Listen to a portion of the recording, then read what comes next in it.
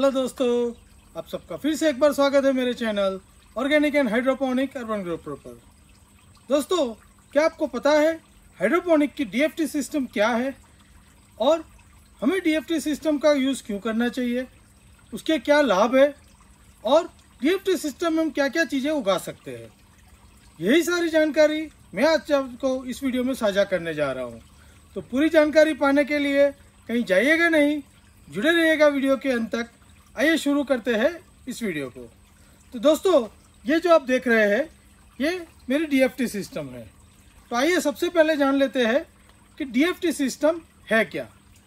DFT का पूरा मतलब होता है deep flow technique deep flow technique में हम ये जो पाइपें हैं, इसमें पानी को कंटिन्यूसली बहाते रहते हैं और साथ ही में पानी को कुछ लेवल मेंटेन करके रखते हैं।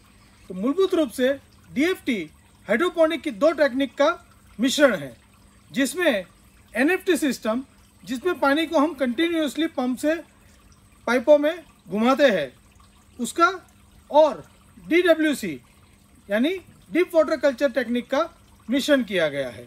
इसमें इसके दोनों के लाभ को लिया गया है। इसमें हम क्या करते हैं कि ये जो पंप है, हम पंप की मदद से पानी को कंटिन्यूसली इन पाइपों के द्वारा इन बड़ी पाइपों में डालते हैं। ये पानी सर्कुलेट होके फिर से एक टैंक में जमा होता है, जहाँ से हम इसको वापस उठा के लाते हैं। यानी ये कंटिन्यूस सिस्टम है। दूसरा क्या करते हैं, हम इन पाइपों में जो पानी का ड्रेन है, वो थोड़ा ऊंचाई पर फिट करते हैं, जिससे क्या होगा, इन पाइपों में कुछ लिमिट तक पानी भरा रहेगा, जिससे कि जो जो पौधे की जड़ें है, वो हमेशा पानी में डूबी रहेगी। तो एक आप देख सकते हैं कि ये जो पौधा है ये इसकी जड़ है। यहाँ तक इसको पानी में हमने डुबा के रखा था और ऊपर का जो भाग है, वो हवा भरी रहती है। अभी डीएफटी सिस्टम का लाभ क्या है? कि डीएफटी सिस्टम का लाभ ये है कि जैसे एनएफटी सिस्टम में कभी पावर चला गया, बिजली चली गई तो पानी का सप्लाई रुक जाता है और थोड़ी देर में जो जड़ें हैं पौधे की, वो सूखना शुरू हो जाती है और कभी कभी हमारे पूरे पौधे को मार देती है। इसके सामने डीएफटी सिस्टम में कुछ लिमिट कुछ लेवल का पानी हमेशा भरा रहता है। जिससे क्या होगा, बिजली भी चली गई तो पानी पाइप में भरा होने की वजह से पौधे को मिलता रहेगा और अपना पौधा सर्वाइव करेगा। दूसरा, जैसे डीप वाटर कल्चर की जो क्रैटकी सिस्टम है, जैसे पानी का लेवल उसमें थोड़ा कम हो जाता है, उसके बाद उसकी हवा वाली रूटें जड़ें आ जाती है, जिससे उसकी ऑक्सीजन की आपूर्ति अच्छी तरह हो जाती है। तो डीएफटी सिस्टम में भी हमने पाइपों को आधे से थोड़ा ज़्यादा लेवल पर बना के रखा है और ऊपर का लेयर जो हवा वाला है, इससे ये जड़ें जो है, वो हवा लेती रहती है और अच्छी अपनी ग्रोथ बनाती रहती है। इस तरह दोनों सिस्टम का एडवांटेज से जो ये सिस्टम बनी है, वो है डीएफटी सिस्टम अब आता है डीएफटी सिस्टम में हम क्या क्या उगा सकते हैं। जैसे कि एनएफटी सिस्टम जो है, वो पत्तेदार सब्जियों के लिए बहुत ही बढ़िया सिस्टम है। जैसे उसमें लेटस है पालक है, धनिया है, वो सब बहुत अच्छी तरह उग सकता है। पर उसकी जो लिमिटेशन है, जैसे फल वाली सब्ज़ियाँ है, जैसे बैंगन है, मिर्च है, वो उसमें अच्छी तरह हम नहीं कर पाते हैं मैनेज दूसरा, जब हम डी या क्राटकी मेथड की बात करते हैं, उसमें हम फल वाली सब्ज़ियाँ बहुत अच्छी तरह उगा सकते हैं।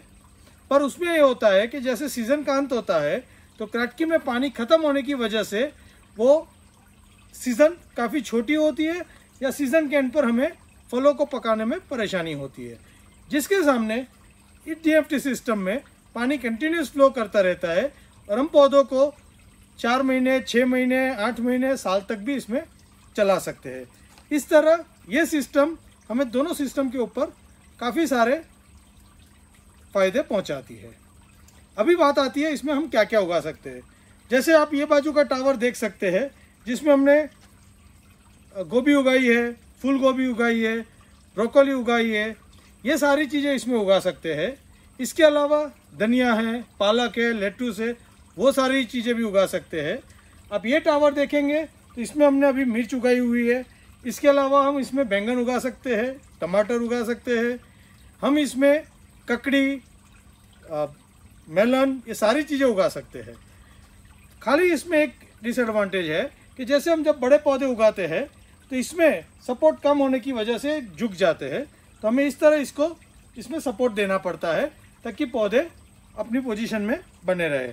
और आप देख सकते हैं कि मिर्ची के पौधे कितने अच्छे इसमें पनप रहे हैं, और इसमें मिर्च भी लगनी शुरू हो गई है। एक और डिसएडवांटेज है इस सिस्टम का। इस सिस्टम में, इन पाइपों में पानी भर के रखना पड़ता है। और ये, एक पाइप में करीब 70 से 80 लीटर पानी हमारा इसमें भरा रहता है। तो जैसे ये बड़ी सिस्टम बनती जाती है, उसमें हमें काफ़ी सारा पानी का यूज़ करना पड़ता है इनिशियली इससे हमारी शुरुआती कॉस्ट थोड़ी ऊपर आती है। पर उसके सामने हमारी पावर फेल की कंडीशन में हमारे पाक को बिल्कुल ही हमारी सेफ्टी मिलती है। तो ये है दोस्तों डीएफटी सिस्टम ये हमारा जो डीएफटी सिस्टम है, वो हमने बहुत ही सिंपल डिज़ाइन किया हुआ है। इसमें ये जो पाइपें है इसमें से इसके ऊपर अंदर पानी कंटिन्यूसली आता रहता है। ये पानी गोल घूम के, वो दूसरी सामने वाली पाइपों में जाके नीचे टंकी में इकट्ठा होता है, जहाँ से हम इसको फिर से उठा के इसमें घुमाते रहते हैं। हम स्टेज के हिसाब से इसमें पानी न्यूट्रिशन बदल भी लेते हैं। इस तरह बहुत ही आसानी से हम बहुत तरीके के पौधे को उगा सकते हैं। तो आपको ये सिस्टम कैसा लगा? मुझे कमेंट में लिखकर ज़रूर बताइएगा। और आप भी अपने लिए ऐसी एक डीएफटी सिस्टम खड़ा करिए और घर पे हाइड्रोपोनिक सब्ज़ियाँ बहुत ही आसानी से उगाइए। Happy growing